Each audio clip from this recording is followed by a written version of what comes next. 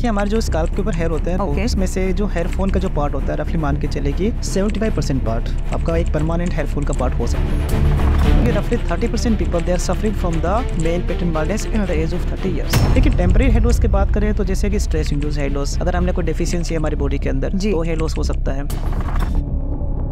जो cancer therapy लेते हैं हाँ बाद में कीमोथेरेपी लेते हैं तो उसके बाद में उनके बाल चले जाते हैं। एलोपेशिया एरिया टाइप डिज़ीज़ का नाम है। जी। इसमें क्या होता है कि पेची हेयर लॉस या कोई इंसेप्ट आपके हेयर लॉस होने के चांसेस रहते हैं। बदलने से जो जिंक और आयरन पानी में बढ़ जाता है उससे बाल डैमेज होने से ज़्यादा क्या बाल झड़ के बिल्कुल खत्म हो जाते हैं ऐसा भी है? आप मानेंगे नहीं कि इतना स्काल्प वहाँ पे खराब था उनका कंडीशन ओहो। लेयर जम गया था उनके स्किन के ऊपर। अब तो ये हो गया कि वहाँ पे स्कार बन गए थे उनके। और उनका एक मेल पैटर्न मारनेस था। अब सोचिए अगर वो छह महीने पहले आ जाता तो हो सकता है कि हम बाल बचा लेते उनके। तो जनरली मैं अपने चीज़ों बोलता हूँ कि I am not doing hair transplant I am doing the confident transplant